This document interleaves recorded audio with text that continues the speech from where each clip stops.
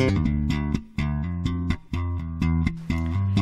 everybody, it's the Cursing Seamstress. Today is Sunday. I'm on my way out the door in about 15 minutes. So I thought I'd take advantage of this time and talk to you about what I've been sewing.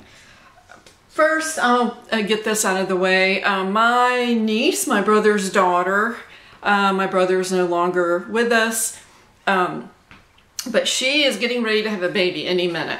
Um, and I hope she tells me when she does. She lives in um, Minnesota. Um, so I thought, wow, I can get rid of some of my scraps and maybe make some things that would be really useful for the baby. So I'll show you what I've done. Um, I don't think I showed this before. This was from Thrifted Fabric, probably last year or the year before. Um, I just, and these are, um, these are from Patterns for Pirates. I think these are the pajama walk the plank pajama pants, I think, but they're not pajamas. Um, they are blue jeans with little um, on them, I think. I might have shown these to you before, but they're just adorable. They're just so tiny. Um, these are for, um, I think, a three month old. Then I, I don't know, I found the this beanie pattern. This is either made for mermaids or patterns for pirates, either one. It's free and it's called the Slouchy Beanie. And it's called the Slouchy Beanie because there's excess room here so it kind of folds over on the back of your head. It's for uh, girls and boys, men and women. I think there's um, four sizes maybe. Uh, and these are the toddler size, I guess. This is fabric that I used to work for the Bloodmobile, um, Red Cross, American Red Cross Bloodmobile, and we did a blood drive on the bus um, at a fabric company. And so I was talking about sewing, this is 30 years ago, talking about sewing to one of the donors and she said, um, do you want some scraps? I can go in and get you some. So I said, yes, that would be wonderful. So I know it was 30 years ago because my daughter, out of this very fabric, this is like a swimsuit kind of fabric, I did a pair of pajamas and they were probably a size eight. And um, I made balloons. It was, I can't remember, it was somebody holding balloons and um, and so one of the balloons uh, was appliqued on using this shiny fabric.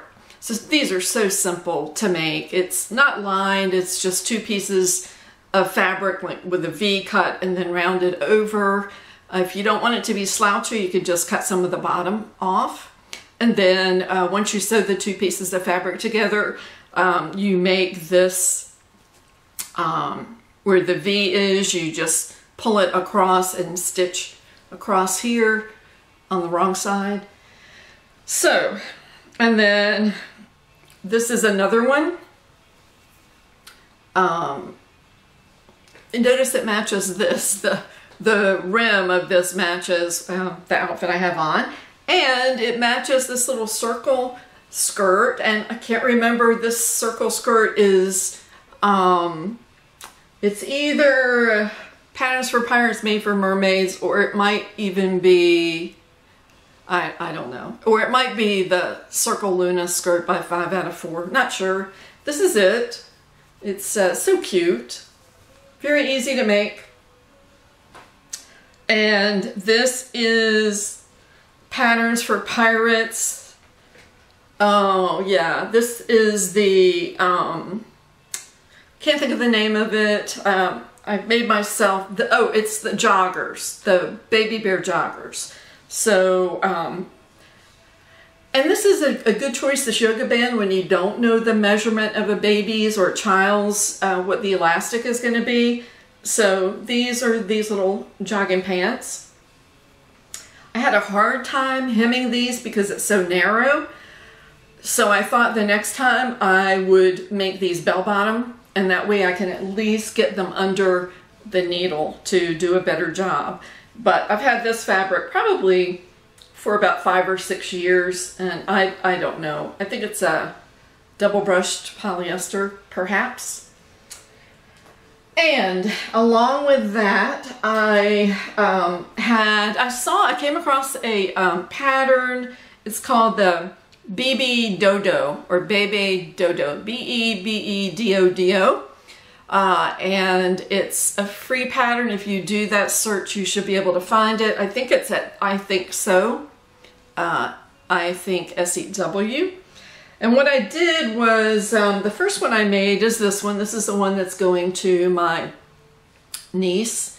Um, I've got a bunch of this fleece from, I don't know, I think I was making beanies or something years ago. And so what I did was I scanned the, the pattern that she offers for free uh, and then scanned it, uploaded it, put it into my embroidery program, and from there made sure it was the correct size and then put in the ears, the eyes, and all the rest of the stuff that um, was meant to be put on as a, a, patch and then I guess hand sewn on or zigzag, zigzagged around. So I thought this would be a shortcut. This is his back. He's, he's a bear. So this is for uh, Jill.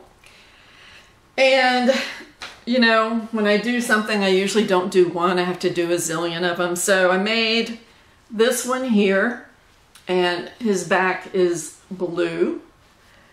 Um, and then I made this guy. He's blue all over, and that's his backside.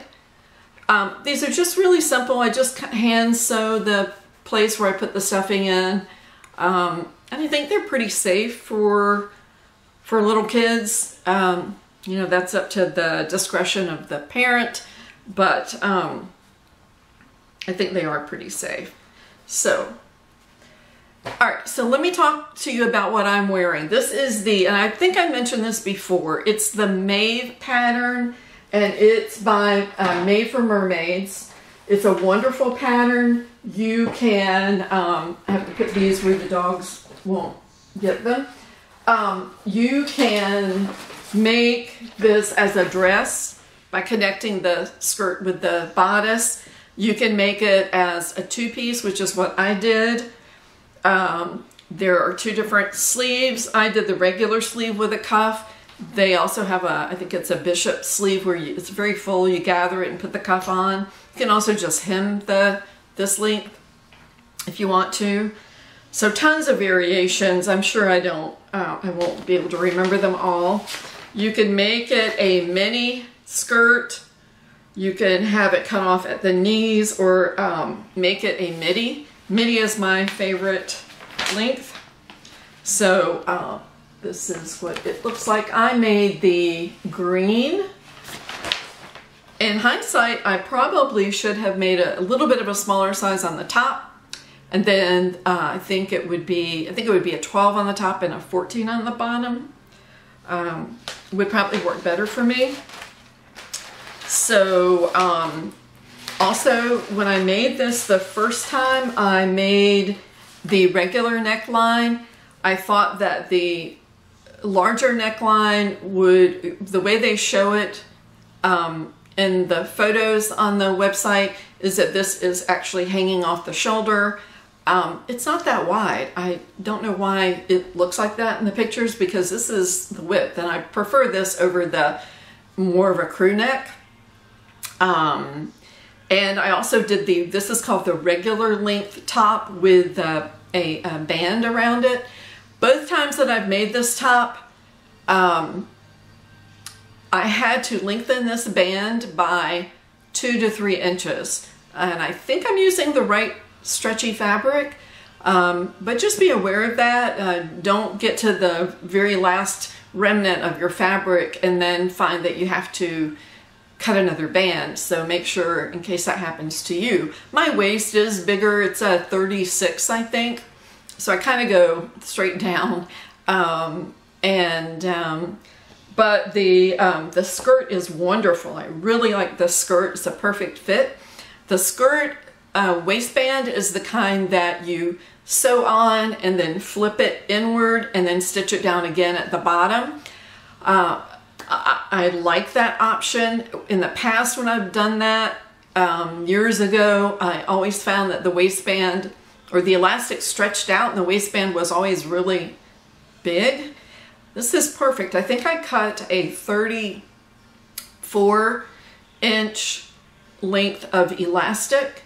So it, it's two inches shorter. And then I, I overlapped it a half an inch. So, um, but it came out perfect both times. This is such a great fabric. I found this at a thrift store um, and it is such quality. Um, there's no pilling. It washed beautifully. Um, I wish I knew who made it because um, I would buy more. I'm going to stand up and just show this to you. It's such an easy wear. I think that um, I'm going to try the dress next time. And uh, I think the dress has elastic in it. Um, I'm sure it does but I think that might be a good option next time since I've made this set uh, twice, except for the, the only variation is the wider neckband.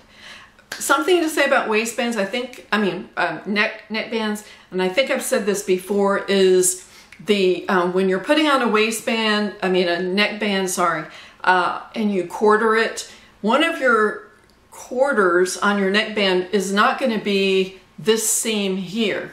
Um, only if you were doing a totally round neck, a high crew neck, that's a really a full circle, uh, would, would this be your quarter mark.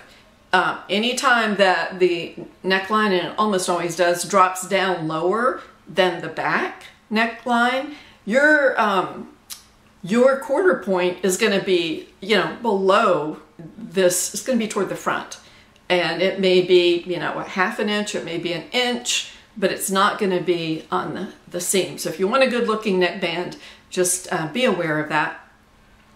All right, I'm going to stand up and show this to you. It's the same thing I showed you before, except for the neckband.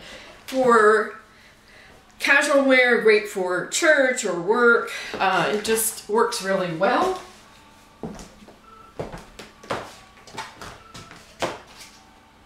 Love these sleeves. I did cut the sleeves off, I think two inches um, before I put the, uh, the band on and that works out perfectly for me. I don't have short arms in particular, but uh, anyway, give this a try. It, it's a beautiful pattern. I like it a lot. Have a wonderful day, a wonderful week, and I will talk to you later. Bye-bye.